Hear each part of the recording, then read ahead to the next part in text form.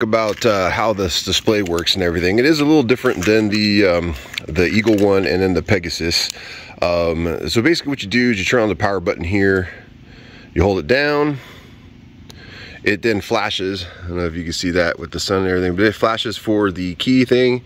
You stick the Varla deal up next to it and then it turns on the display. Now as you can see, the display is not really liking the camera right now, but you can tell that it is 95%. So this is after it was just fully charged. Um, I did notice that it does go down to 93% when it's standing for a day afterward, but uh, just from turning it on, it was at 94 and then now it's at 95%. So it does kind of go back up once you turn it on, which is interesting.